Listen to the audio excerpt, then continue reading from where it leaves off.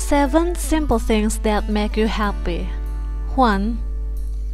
Ignore all comments from others. It is undeniable the opinions or comments that come out of other people. Real friends or just random people can make you think and finally try to behave as they expect of you. The way to live happily is it to start filtering other people's comments to yourself. This step can make you happier because basically we cannot make everyone happy. Do what's best for yourself. 2. The fair process. After doing something wrong, fear, anxiety, and worry will always be there. Process the feeling by accepting it and denying it. Every human being must feel it. After that, you try to talk to yourself and evaluate it so that it can be better. The way to live a happy life is to be open to yourself so that it can help you become better.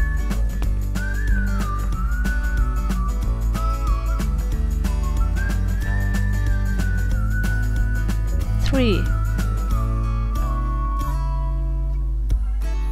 Enjoy feeling both sad and happy. Let your heart feel sad or happy to the fullest. Lean on the pain, have fun, and don't limit your feeling. Like fear, pain, and joy are emotions that will help you understand yourself. This way can make you live happily. 4.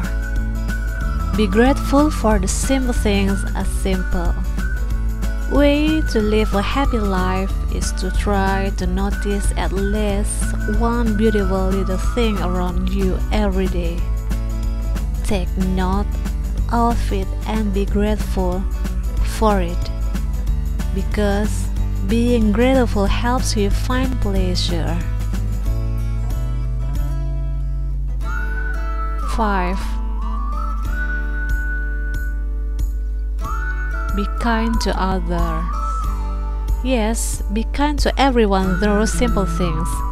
Starting from starting a smile at others, holding the door when other people pass, inviting someone in line to go first, and others. Kindness is an easy thing to do by emitting kindness to others. It will have a positive impact on yourself. 6. Say no to overthinking. Overthinking kills. Ever heard of these expressions? Yes, overthinking and letting your mind wander about bad things can make you more depressed and far from happy. Then, how to work around it? Ryan? Okay. You can write down all your negative or toxic thoughts on a piece of paper. Then throw the paper in the trash. The simple act has been shown to make you feel better.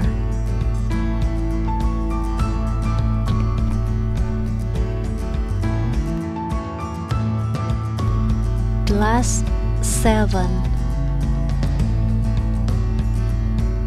and most importantly, be kind to yourself. When you have tried to be good to others, now ask yourself, have you been good enough to yourself? Sometimes, without realizing it, we can uh, criticize ourselves so badly with hurtful evil words. Learn to be kind to yourself and throw away this negative thought. Research has found that accepting yourself is the key to a happier life. But unfortunately, this is precisely the habit that we rarely do. We tend to criticize and blame ourselves for everything that happens in life. Get excited and start to get used to the simple things that bring happiness.